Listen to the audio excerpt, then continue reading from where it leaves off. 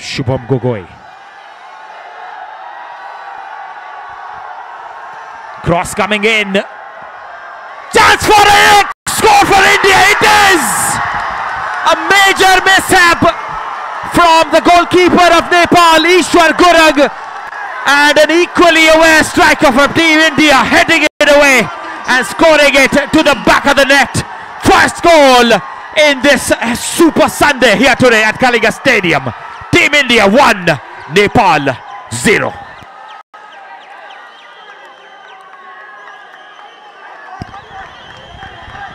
Just have a look at that replay. A jumping Ishwar Gurung there, not able to control. The celebration has begun and it is going on to the wee hours of the night, that's for sure. Shubham Gogoi once again smashes that ball into the back of the net.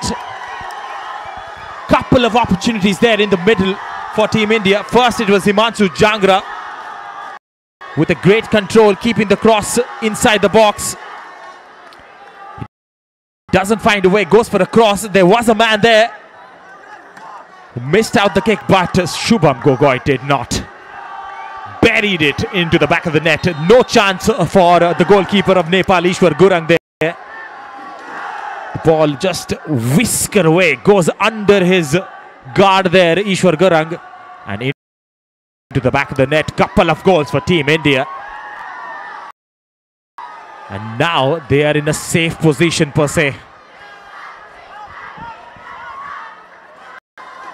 And a man goes down straight, yellow card signaled to the striker from Team India, Gurkirat Singh. So couple of yellow cards shown to players from Team India as well. The referee has been kept really busy.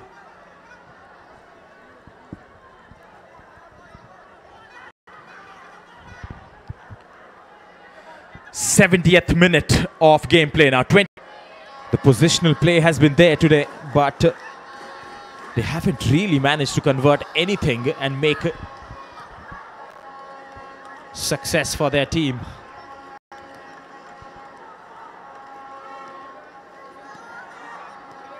Horns being blown. What a setting this at Kalinga Stadium. Bhubaneswar under the lights. Team India roaring ahead 5-0 against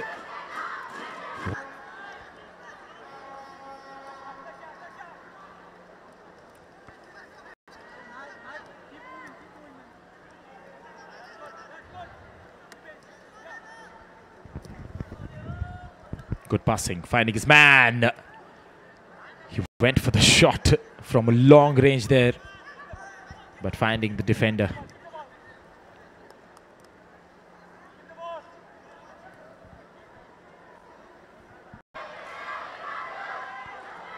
Again, looking for a man to pull the trigger. But the ball has been uh, played away by Team India now. Ishwar Gurung passing it to Gurkirat Singh, but uh, intercepted, and the ball goes out of play for an India throw-in.